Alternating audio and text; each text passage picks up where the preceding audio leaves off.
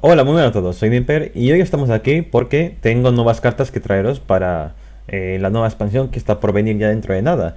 Pero antes de nada estaréis viendo esto de aquí que está dentro del juego, tanto en móviles como en la plataforma de Steam, en la cual va a haber un evento de mega sorteo de cuádruple rupias, así es como lo han nombrado. Básicamente este sorteo pasa periódicamente, en todos los años lo tenemos a final de año, en el cual por jugar partidas privadas con gente, una diferente cada día, pues entonces tendrás una entrada al sorteo de rupias. Hay sorteos bastante chulos, incluso alguno puede llegar a tener rupias suficientes para comprarte todas las cartas hasta, el final del juego prácticamente. Creo que era medio millón de rupias. Ya veis que yo tengo ahora mismo 8500 y eso ya son 85 sobres asegurados. Así que pensar en la importancia que tendría tener un trofeo tan grande.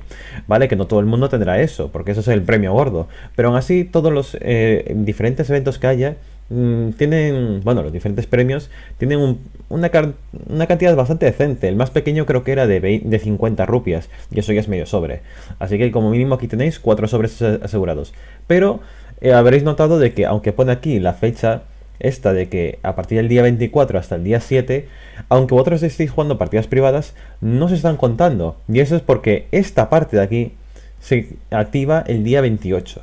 Así que no os preocupéis por ello, porque mientras tanto sí que podéis ir desbloqueando esto. Por ejemplo, yo ya tengo desbloqueado este de aquí, que es antes de que termine el periodo este, pues terminaros el nuevo capítulo de la historia, que es cual, el que cierra todo el, círculo de los vaqueros estos raros que, la verdad, a mí no me, no me atrajo mucho la historia, pero son rupias gratis y alguna skin para una sobre y pues mira, una entrada más para este sorteo. Así que aprovechar y aquí tenéis una fuente de rupias extra que no está nada mal. Si no sabéis o no lo localizáis dónde puede estar esto, pues está aquí.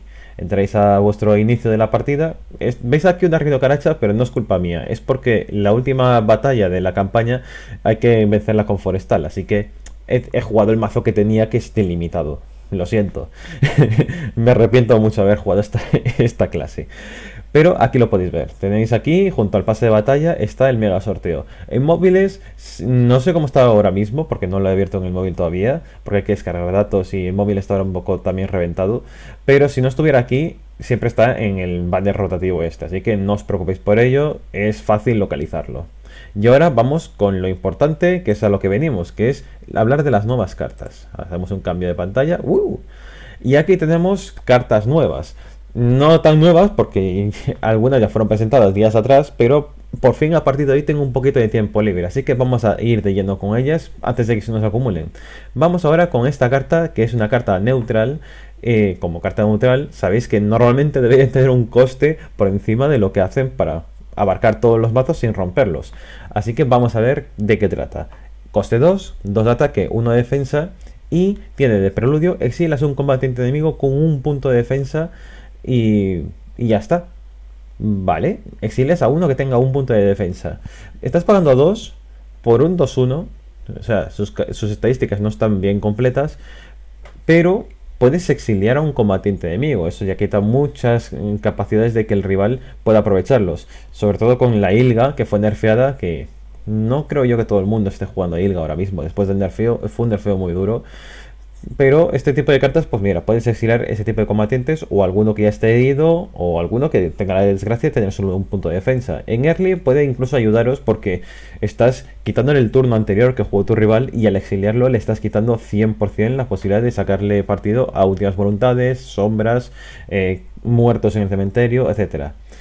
Ahora mismo eh, lo importante yo creo que sería la parte de la evolución exilias una carta de tu mano y agregas a tu mazo una copia de esta carta exiliada y además robas dos cartas. Yo creo que es de la parte más importante de la carta, porque te estás quitando algo que no necesitas ahora mismo, lo vuelves a introducir en el mazo para robarlo más adelante. Esto es una carta neutral muy importante, porque el anillo que lo conocíamos era una carta parecida, robabas solo una carta con ella y te exilias una de la mano, la metías en el mazo y robas otra de repuesto. Era como hago un intercambio gastando una carta de mi mano. Pues esto, estás quitándote una carta, que es la que exilias, quitándote esta, pero recuperas el volumen de mano, que son dos cartas en total. Estás profundizando mucho en el mazo, quitándote algo que no necesitas y preparándolo para más adelante. Yo creo que la parte de la evolución es muy fuerte. La parte de preludio, circunstancial, la verdad. Pero puede estar interesante por la parte de evolución. Habrá que ver si merece la pena gastar una evolución en una carta como esta. Seguramente para mazos que tengan alguna cosa que ver con combo o cosas por el estilo, o tengan bichos demasiado gordos y los tengan en la mano y la curva de maná sea un valle, o sea, mucho de coste bajo, mucho de coste alto y en el medio nada, pues este tipo de cartas puede ayudar a que esos mazos no se atranquen en ciertos momentos de la partida, en, ciertos turnos. Puede estar muy muy bien. Habrá que verlo con todo ya preparado. Ahora vamos con Baseraga. Baseraga, para los que habéis jugado a Gran Blue Fantasy eh, mucho tiempo, este señor fue nerfeado en Gran Blue Fantasy. ¿Por qué? Porque era inmortal. Y ahora sabréis el porqué, viendo la carta que viene para Nigromante. Nigromante, eh, recordemos, tenía ya algunas combatientes que eran inmortales, o sea, cuando morían volvían a entrar en el juego. Pues Baseraga es uno de ellos. Por coste 7 es un 4-7 y este combatiente no puede ser elegido para recibir efectos enemigos. Incluso es mejor que los otros porque este no puede ser exiliado. No puede ser exiliado desde una carta en la mano. No puede ser matado con una carta en la mano. Y, obviamente, tampoco puede recibir daño de hechizos con cartas que hagan target. Tienen que ser o por áreas o por combate. Vale, ¿qué es lo que pasa con este señor si lo logras matar? Vuelve a aparecer. Última voluntad, invocas otro Baseraga, que ni siquiera pierde habilidades. Simplemente lo vuelves a invocar. Otra vez. Una fuente de sombras constante. Es un 4-7. Vale que no tenga guardia. Pero es un maldito 4-7. Quieras que no, daño va a hacer. Y aún encima tiene buena protección para poder sobrevivir a áreas. 7 de culo no es fácil quitártelo de encima. Cuidado con esta carta porque actualmente cartas que lo pueden exiliar, el dragón de coste 10 de dracónico que exilia cartas X en la mesa dependiendo de las veces que ha sido alimentado. Ahora mismo esta carta pues pinta bastante curioso, la verdad. Y sobre todo con una, uno de los Eternal que vamos a ver más adelante. Vamos ahora con una carta que ya la conocíamos, que es la carta de el protagonista, la legendaria, que no la expliqué del todo bien porque la expliqué con la traducción que había hecho yo y no era del todo correcta. Así que vamos a mostrarla una vez más. Esta es la carta del protagonista, que posee tanto Jetta como Gran, y es un hechizo de coste 5 legendario, que además es neutral, por lo tanto todo el mundo lo va a tener disponible. ¿Qué hace esta carta en sí mismo? Pues puedes escoger entre Gran o Jetta, a no ser que tengas el Arcano Celestial 15, entonces invocas a el, combatiente en sí mismo. ¿Qué es lo que hacen cada uno de esos hechizos? Pues mira, eh, la resolución de Gran es uno de los dos hechizos de elección que tendríamos aquí.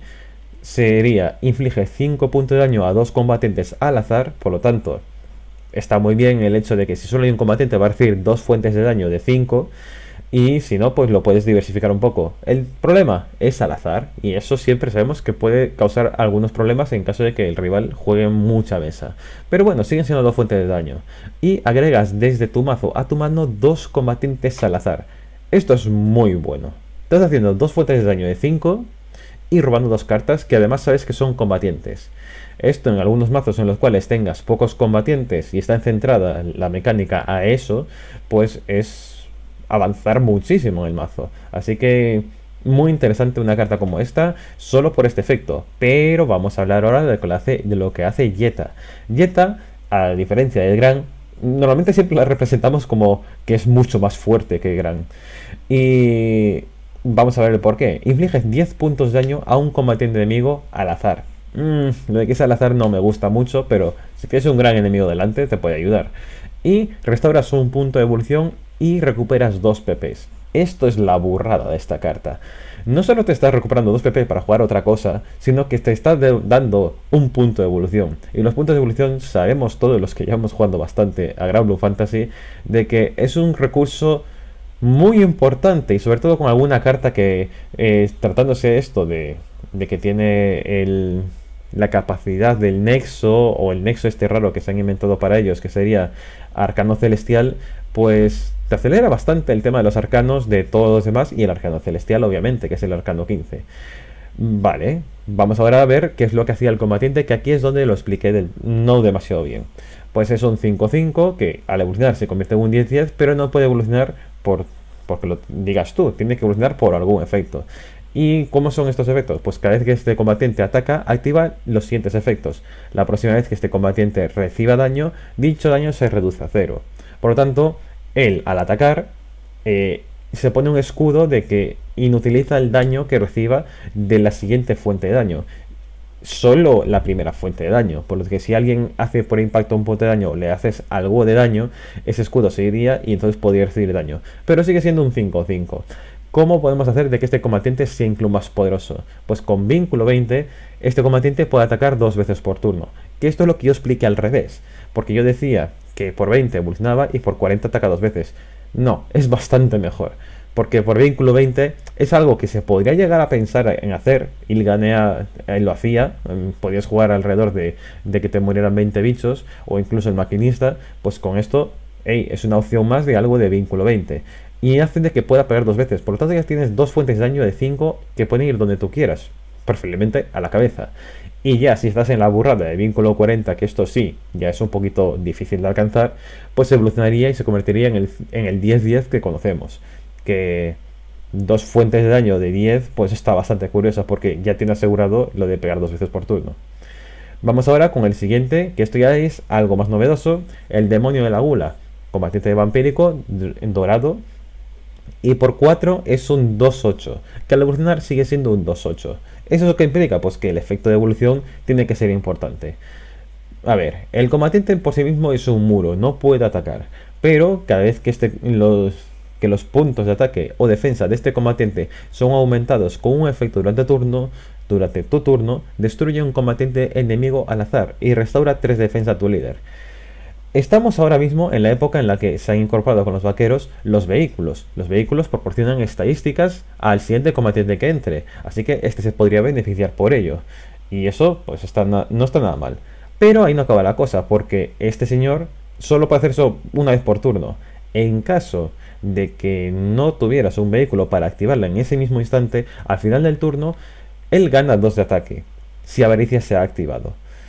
Así que es una cosita más para avaricia en caso de que Vampírico la quiera aprovechar y es una fuente de estadísticas extra a este que, mm, a ver, el hecho de no poder atacar pues está ahí. Mm, no sé, la verdad no, no le veo mucha importancia a ese mismo y, eh, sinceramente, no tengo ni idea de si se va a utilizar o no. Cuesta bastante, pero si le llegas a activar la avaricia estarías matando un bicho del rival por turno.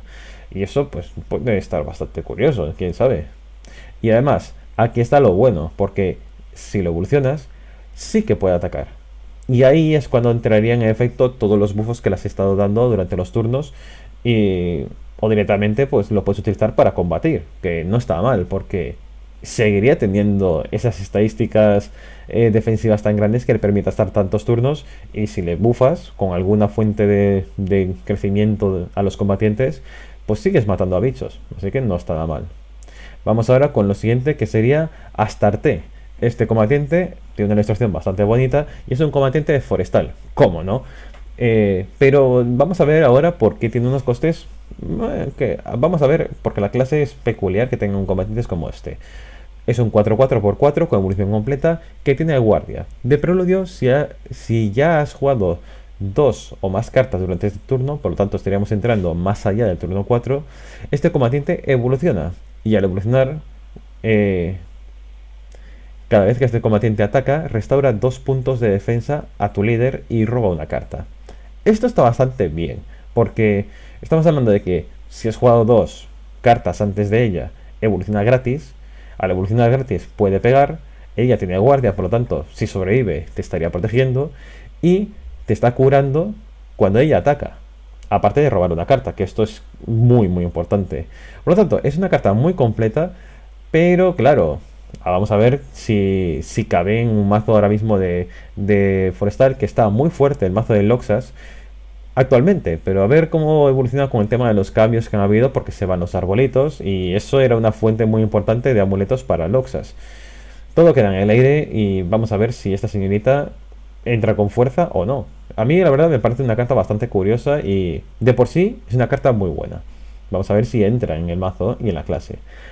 Volvemos a los Eternal. En este caso nos vamos a Octo. Octo es el Eternal de la katana. Que si ya me habéis oído hablar antes de Narmaya, pues sabréis que este señor eh, Narmaya muy posiblemente acabe robándole el título de el mejor espadachín de katanas de, de todo el mundo de Grand Blue Fantasy.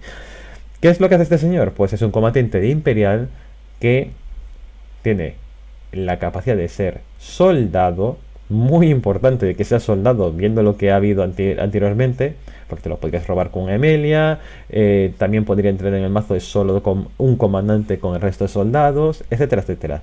¿Qué es lo que hace el combatiente en sí mismo? Pues tiene embestida siendo un 7-6 por 8. ¿Es muy caro? Sí, es malditamente caro. Pero vamos a ver qué es lo que puede hacer y lo que puede aportar. Este combatiente evoluciona si ataca y destruye un combatiente enemigo durante tu turno, sin ser destruido en el impacto, obviamente. Si no, si ha muerto no puede evolucionar. ¿Y qué es lo que tiene aquí de arcanos? Arcano de preludio 10, recuerdo, os cuesta 8, por lo tanto no está demasiado lejos de lo que es el preludio eh, de arcano. Eh, restas 5 de coste a todos los combatientes de clase imperial en tu mano. Esto es muy exagerado teniendo en cuenta de que podría tener otra copia de él y que te costaría 3 a partir de ese momento. Y sería un 7-6 por 3. Más todo lo que pueda haber alrededor que puede estar bastante curioso. Pero si tienes el arcano celestial 15, estamos hablando de Imperial. Imperial es el mazo que más evoluciones tiene ahora mismo. Así que el arcano celestial es una habilidad que sí que podemos pensar en ella de una forma activa. Restas 5 de coste a todos los combatientes de clase Imperial de tu mazo. Ok, todo lo que robaras costaría menos 5. Y eh, hay pocos combatientes que cuesten más de 7 para pensar en que te vaya a bajar los PPs por turno. Es una exageración. Como he dicho, él tiene embestida, si evoluciona, eh, eh, si pega, mata a un bicho y sobrevive, evoluciona. ¿Y qué es lo que hace el evolucionar? Puede atacar dos veces por turno. o sea, si ha sobrevivido, pues otra vez que tiene para pegar. Muy, muy buena la carta, muy cara, muy, muy exageradamente cara, pero sus estadísticas están muy bien y como entre con Arcano o Arcano Celestial, puede ser muy doloroso el mazo. Vamos a ver, vamos a ver el combatiente, pero pinta, pinta tocho, pinta bastante curioso. Y vamos ahora con la mascota de Gran Blue Fantasy, eh, que es Birne. Eh, recordemos cuando estuvimos en el anterior evento de Gran Blue Fantasy, la carta dorada neutral era Liria. Y Liria era una carta muy muy buena, porque te permitía robar, tenía un escudo que la protegía durante un turno y era muy muy curioso porque se pagaba íntegramente, sobre todo con el aumento. ¿Qué es lo que hace Birne? Pues es un 1-1 por coste 2 que de preludio te roba una carta.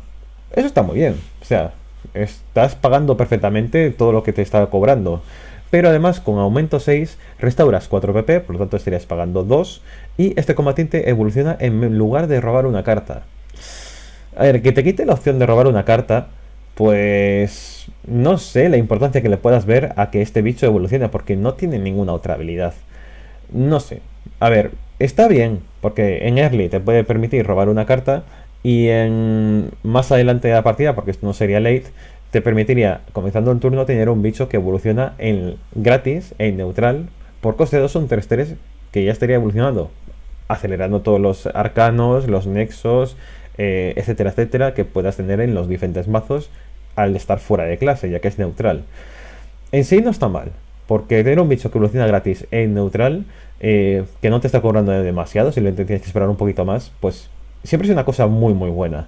Así que yo creo que por las dos formas se, le va a poder ver. Lo que importa es saber si los mazos eh, lo van a necesitar. Yo creo que es una carta que vamos a tener que echarle un ojillo a ella y es una carta dorada neutral que lo bueno es que si sale buena y sale importante, pues va a ser para todos los mazos. Así que una carta más para obtener. Vamos ahora con otra carta dorada, en este caso dimensional, que se llama Fábrica Gigante. Esto es una carta un poco más peculiar. Por coste 10 es un 6-6 que evoluciona completamente en un 8-8, pero se puede jugar como fragmento. Al jugarlo como fragmento, fragmento 5, hace de que por 5 tienes un amuleto en la mesa, que este amuleto, eh, cada vez que un combatiente artefacto aliado entra en juego, obtiene poder de vestida, restaura un PP y roba una carta. ¿A qué os recuerda esto? Pues a un cierto amuleto que existía antiguamente, que lo podías incluso llegar a fabricar con otro combatiente más adelante, que cuando lo dejabas en mesa, te duraba unos X turnos y cada vez que jugabas un, artefacto, ese artefacto tenía embestida y te devolvía un PP.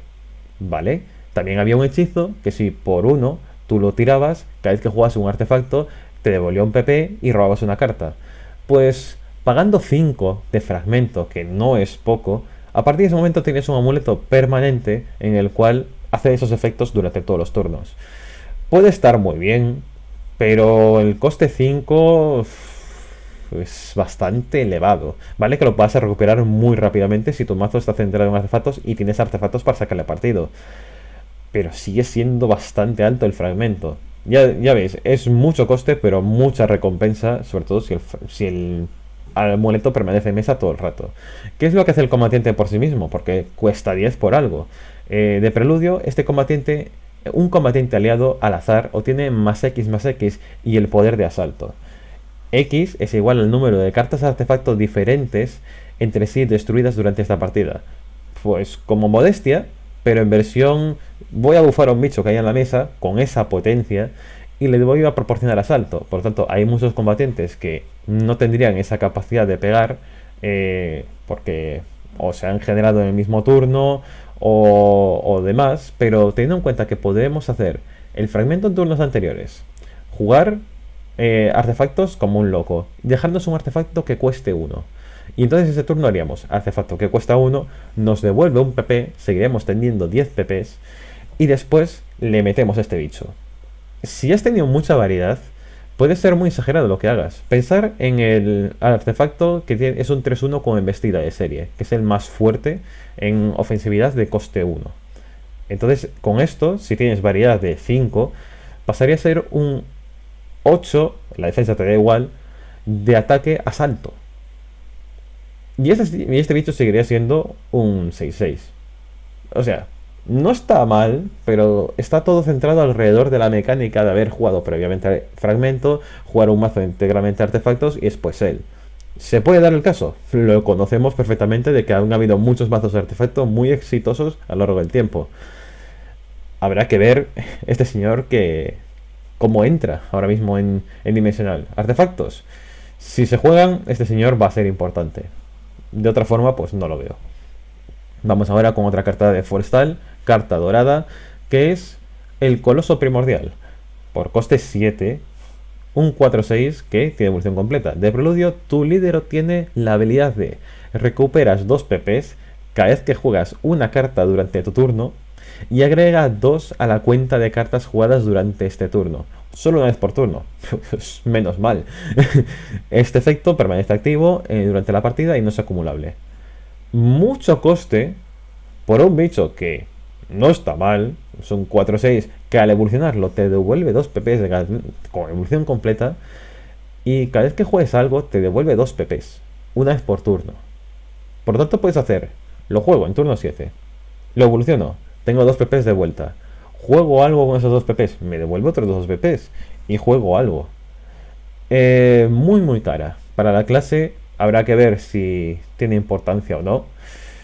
Las cosas tan caras en Forestal o triunfan o se van a la papelera inmediatamente.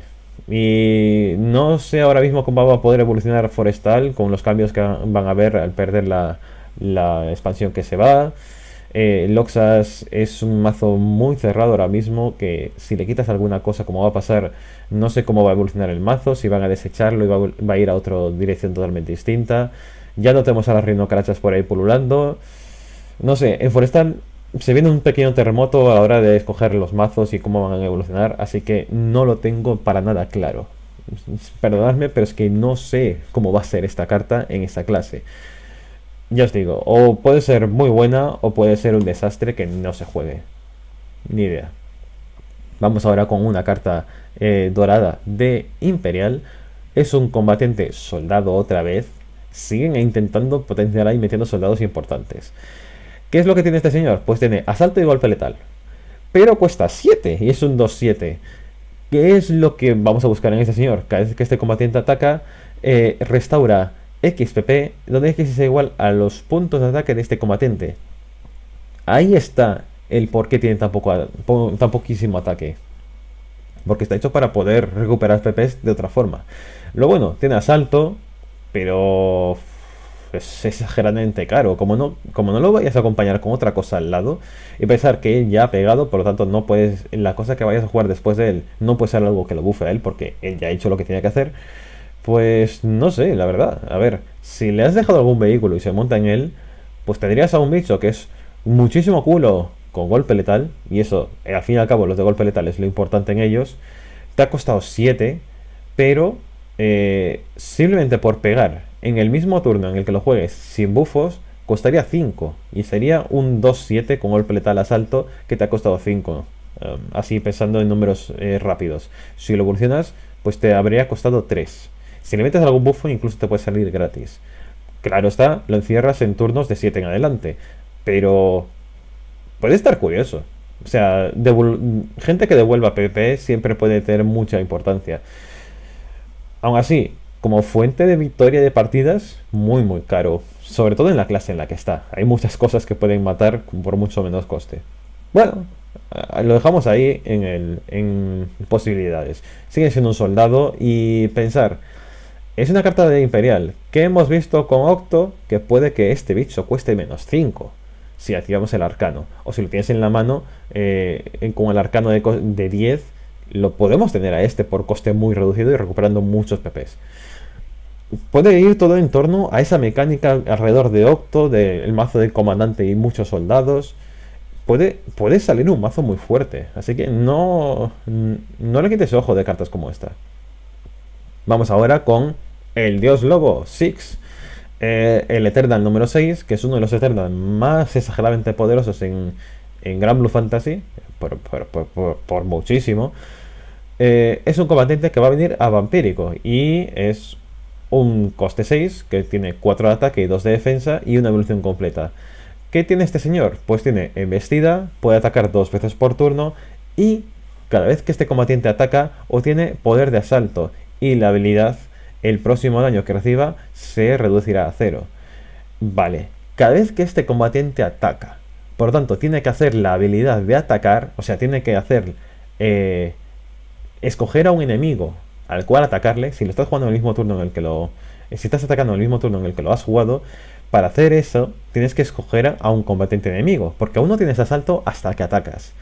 ¿Eso que implica? De que puedes obtener la capacidad de sobrevivir a ese combatiente y después pegar a la cabeza. Porque en el mismo momento en el que estás atacando, estás obteniendo el próximo daño que reciba este combatiente se reducirá a cero.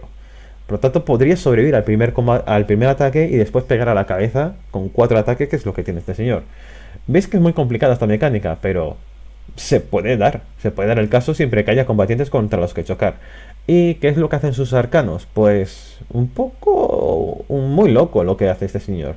Porque el arcano, el básico eh, de 10, invocas una copia del mismo, que obviamente tendría las mismas habilidades. Tendría embestida de serie, así que podría pegar en ese momento y el arcano celestial 15, invocas a 2 en lugar de a 1.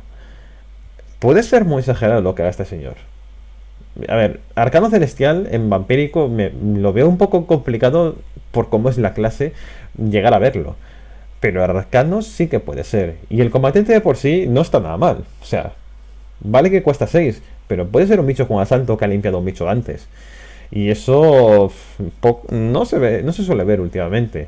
Eh, recordemos que había una carta que si estabas en, en, venganza por coste 7 era un 4-5 que tenía asalto, pero solo si estabas en venganza y matabas a un bicho o un amuleto enemigo. Con esto, pues tenés todo por un coste menos, siempre y cuando el bicho al que te has tocado no tiene golpe letal. Ahí se, ahí se te estropea toda la mecánica. No sé, me parece curioso. Y la verdad, fuerte es, y no poco. Vamos ahora con otro combatiente, en este caso de Nigromante, legendaria, eh, por coste 10, 1 de ataque, 7 de defensa. ¡Wow! Esas estadísticas dicen mucho miedo. ¿Qué es lo que hace?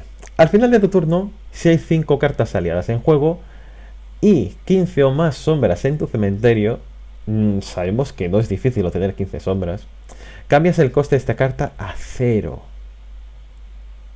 ¡Wow! Le estás quitando 10 de costa a esta carta. Le estás haciendo una carta gratis. Y es un 1-7. Sin pensar en otras habilidades, es un maldito 1-7. Que vamos a ver qué es lo que hace como combatiente. Este combatiente no puede evolucionar usando puntos de evolución, ¿vale? Pero tiene golpe letal y es un 1-7. Sabemos ya no hace falta que lo repita de más veces. Eso siempre es bueno. Supervivencia en alguien golpe letal son muchas formas de matar gente. Cuando este combatiente entra en juego, utilizas Nigromancia 20. Este combatiente evoluciona. Y al evolucionar se vuelve en un maldito 7-7 que al final de tu turno exilias todos los combatientes y amuletos enemigos. Es una maldita exageración. Es una maldita exageración. Simplemente obtén 20 de 20 sombras y este bicho va a limpiar toda la mesa del rival. Amuletos incluidos. Y eso a Clerical no le va a gustar nada. Creedme, no le va a gustar nada a mi clase preferida, combatientes como este, como o tengan suficientemente rápido las sombras la gente. Cuidado, cuidado porque lo único es esto, 5 cartas aliadas en juego. Se puede llegar a lograr, pero no suele ser lo que, lo que solemos ver en Nigromante actualmente. Habrá que ver si, por ejemplo, con la chica de la pala, que al evolucionar eh, mete robots hasta llenar la mesa, si ella sobrevive, pues ya tendría las 5 cartas. ¿Ah? Lo único que tienes que hacer eso al mismo tiempo hay que tener 15 sombras. Y normalmente haces una cosa para tener las 15 sombras, así que eh, queda, queda ahí en el aire, pero puede estar muy muy fuerte este bicho dependerá todo, como siempre. Vamos ahora con otro combatiente. Este es un combatiente legendario de Dracónico. Que veis el coste que es muy exagerado. Correcto, es coste 17. Y es un 13-13 que evolución completa de 15-15. Al final de tu turno, si tu capacidad de PPs es 10, restas 10 del costo de esta carta. Así que eh, estaría muy bien en caso de que al final del turno lo tengas en la mano y tengas 10 PPs máximos porque pasaría a ser un coste 7. Pero antes de pasar a lo que hace el combatiente, recordemos que ahora hay un mondracónico se puede jugar a la chica que mete el amuleto del Fénix. ¿Qué hace el amuleto del Fénix? Cuando te robas la carta, esa carta ya reduce el coste a la mitad. Así que de 17 pasaríamos a... Mmm, estaríamos quitando 9 de coste, u 8. Ahora mismo no me acuerdo si era lo más alto o lo más bajo. Ya le estamos quitando mucho. Estaríamos de entre coste 8 y coste 9. Pues después, al final del turno, es cuando se aplicaría lo de restarle 10. Por lo que podría costar 0. Siempre y cuando tengamos a la del Fénix antes. Y ahí entra lo tocho. Porque podríamos llegar a tenerlo por coste 0 siempre y cuando tengamos a la del Fénix y después lo robemos. ¿Qué hace este señor de preludio? Pues todos los combatientes enemigos pierden menos x, menos x, donde x es igual al número de PPs restantes. Aquí está el tema de que si cuesta 0, todos los bichos pierden 10, 10. Si solo has jugado él, obviamente. Si has jugado más cosas, pues perdería menos estadísticas. Y si recordar, si un bicho tiene 0 de, defensa, se muere. Eh, es destruido automáticamente, aunque sea, aunque sea indestructible. No puede existir en el juego. Evolución. Devuelve un combatiente o amuleto, aliado o enemigo a la mano del jugador correspondiente. Esto es por si acaso hay algo en la mesa del rival que te molesta después de todo esto y o sabes que no va a poder morirse con esta pérdida de estadísticas. No está mal y aparte le estás, devolviendo la carta a un, tío que ha gastado bastantes recursos en intentar, en intentar esa carta meterla en la mesa. Y eso, hey, estamos hablando de dracónico, no de forestal. ¿Qué hace esta carta también? Pues de atajo, en caso de que no tengamos toda la mecánica ya montada, pues por atajo 1 robarías una carta e invocas una megalorca si tienes más puntos de evolución restantes que tu oponente. Obviamente, si no puedes evolucionar, aún no tienes puntos de evolución y no se activaría esto. Tiene demasiadas cosas buenas. ¿Qué puedo decir? Tiene demasiadas cosas buenas. Como lo juegas en un mazo del Fénix y este combatiente esté así, pues mecánica pura y dura. Y recordar que tenemos una carta de neutral que te puede devolver al mazo una carta, que la he comentado en este vídeo. Así que si ya la tenías en la mano, juegas a la de Fénix, te pone el amuleto del Fénix y este dices, pues no lo quiero tan caro, mételo en el mazo y ya lo robaré. Va todo sobre la seda. ¿Qué quieres que os diga? Mm, bastante bien para, el para chica que tiene el Fénix. Y en contrapunto, pues vuelve Bahamut. ¡Oh, qué alegría! Carta neutral, legendaria, estadísticas burrísimas, pero no es el Bahamut original. Créeme, no es tan fuerte. Por coste 10, Preludio inflige 12 puntos de daño divididos entre todos los combatientes aliados y enemigos. Por lo tanto, como haya 3 o 4 ya se pierde todo, todo el daño este. Y si has logrado matar a todos los aliados y enemigos, sin contarse a sí mismo, entonces iría algo daño a la cabeza del rival. O sea, es como una quimera, pero muy mal hecha. Eh, pero tiene un atajo, y el atajo 5, pues ahí podemos pensar en algo. A mí como combatiente no me gusta, así que voy a ir directamente a lo que es el atajo. Inflige 4 puntos de daño a todos los combatientes, aliados y enemigos. Hasta el final del turno, tu líder tiene la habilidad de que el daño infligido por tu líder y por tus combatientes, hechizos, amuletos, aliados, aumenta en 1, infligiendo daño de efectos u ataques. Eh, esta es la mejor parte. Lo malo es haces 4 de daño a todo lo tuyo también. Lo que sobreviva, gana el bufo. Y si tienes hechizos en la mano, pues ganan el bufo. Si tienes amuletos en la, en la mesa, son los que más beneficiosos se van a ver porque no pueden morir por daño. Pero estás gastando 5 de atajo previamente. No sé. Mm, no, me, no me atrae demasiado este señor. Eh, no, no, me atrae, pero nada, nada en absoluto. A lo mejor en clerical, como tienen protecciones, pues sí que se le puede llegar a ver. Eh, si quieres limpiar tu propia mesa también, se le puede llegar a ver. Eh, si estás jugando en algún mazo que tenga daño periódico a la cabeza, como por ejemplo clerical, ya he dicho antes, con Ra, ahí Ra ganaría un turno extra de daño, porque es como si, subiera, como si fueras un turno por encima, ya que Ra pega por turnos. Pues esto sería. Valdein ya no contemos con él porque se irá. O sea, es una carta que no me convence en absoluto, la verdad. Mm, vamos con otra y ya vamos a ir cortando dentro de poco porque si no esto se vuelve demasiado y ya veis que la barrita le queda bastante. No os preocupéis, voy a intentar hacer vídeos más frecuentemente, pero vamos a cerrar aquí con Xenos Sagittarius. Xenos Sagittarius, carta legendaria para Forestal. Eh, los Xenos, los que juguéis en Gran Blue Fantasy, sabéis que son unos bosses periódicos, elementales de cada uno de los elementos, que suelen soltar buenas armas. Vamos a ver cómo lo han intentado representar en este juego. Coste 6, 6 de ataque, 4 de defensa y evolución completa. De preludio, todos los puntos de defensa de todos los combatientes enemigos pasan a ser 1. Ok, no está mal. O sea, todos los bichotrones pasarían a tener 1 de defensa. Curioso. Cada vez, que este combatiente ataca, inflige un punto de daño a todos los combatientes enemigos. Por lo tanto, si ataca en el mismo turno en el que entra, te has limpiado toda la mesa. Y él sigue teniendo mucha, mucha potencia. Y como hace el daño al atacar, ni siquiera tendría que chocar. O sea, los mata antes de chocar. Es como un impacto, pero un poquito mejor. Eh, si este combatiente es devuelto, a tu mano, inflige también un punto de daño a todos los enemigos, en caso de que no quiera gastar un punto de evolución para que pegue en el mismo turno en el que entre. O sea, en clase forestal esto pinta bien. Pero claro, estamos hablando de un coste muy elevado. ¿Qué podemos hacer con él por un coste más reducido, por fragmento? Pues tiene cuenta regresiva de 1, ese amuleto que genera, y roba una carta si este amuleto es devuelto a tu mano o es destruido. O sea, vas a robar una carta sí o sí. Si no, pues puedes robar varias, porque lo puedes jugar, devolvértelo, robas una carta, devolvértelo, lo vuelves a jugar y el siguiente turno, cuando se rompa, robas otra carta. Está bien, está bien, la verdad. Eh, es una carta que pinta, pinta curiosa, Mm, sobre todo el tema de que puede limpiar cualquier mesa, eh, reduciéndoles la defensa muchísimo. Esto de cara a que se jugara la esfinge o con el faraón, pues el faraón si tiene más de un punto de defensa vuelve a la vida, pues aquí te lo estarías cargando. Pero no sé, está muy bien, pero claro, estamos hablando de Forestal y es una clase que, como sabéis, yo no domino. Así que espero en los comentarios vuestra opinión sobre algunas de estas cartas que hayáis visto que tenéis, tienen más potencial del que os he podido mostrar ahora mismo.